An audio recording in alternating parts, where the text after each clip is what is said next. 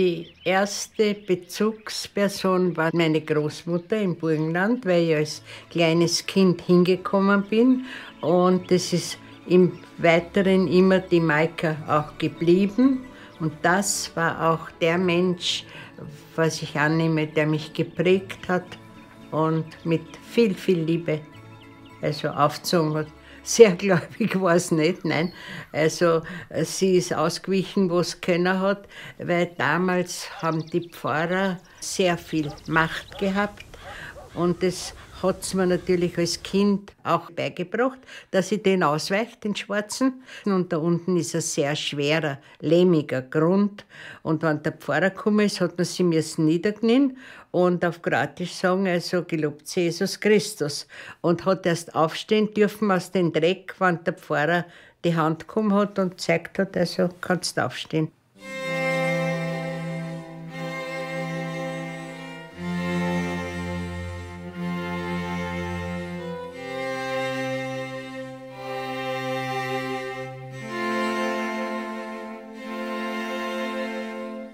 Sie hat mich mit zwei Sprachen aufgezogen. Ich habe, wie ich sprechen habe gelernt, konnte ich genauso gut mit den Kindern dort Kroatisch sprechen, wie eben, wenn, wenn wir die paar Tage in Wien waren, habe ich Deutsch können.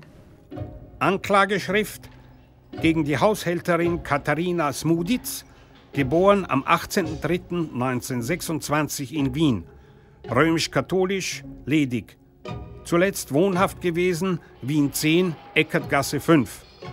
Unbestraft, festgenommen am 21.08. Katharina Smuditz war in der Zeit von Mai 1941 bis Sommer 1942 als Verbindungsperson in der KPÖ tätig, nahm wiederholt an Treffs teil, stellte verschiedene Verbindungen zwischen kommunistischen Parteigängern, insbesondere Johann Sokop und dem Spitzenfunktionär Neustadl her.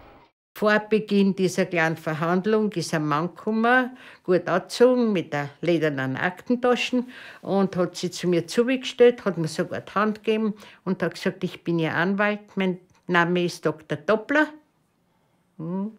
Vorher hat er sich nicht um mich gekümmert, nachher auch nicht. Und was er dann zu mir gesagt hat, bedanken Sie sich für das milde Urteil.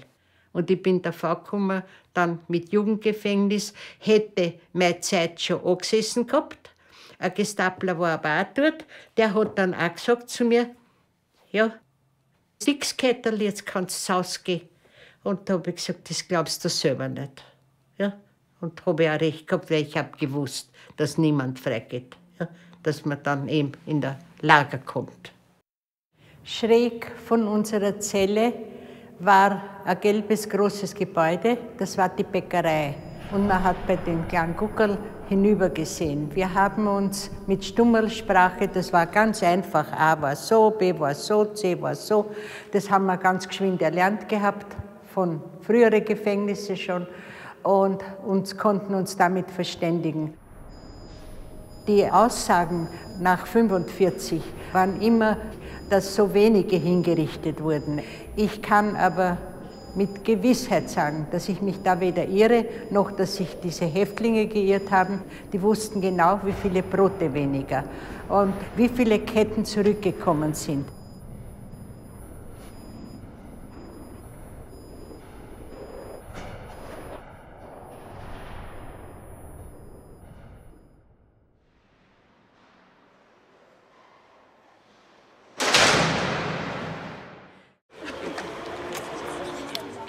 Ich als Überlebende der Zeit ohne Gnade kann wohl sehr gut nachfühlen, was Friede, Freiheit und Demokratie und Freude am heutigen Tag bedeuten.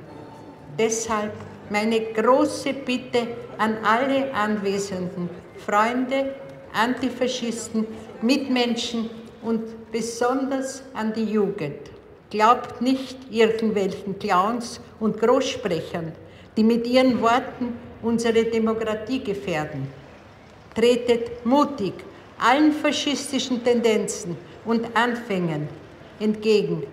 Setzt eure ganze Kraft für ein freies, demokratisches Österreich ein, damit noch viele Generationen den 8. Mai als Tag der Freude und Beginn eines langen Friedens feiern können. Dankeschön.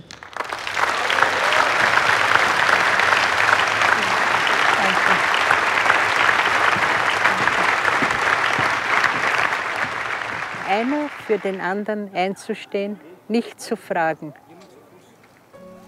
was helfen wollen.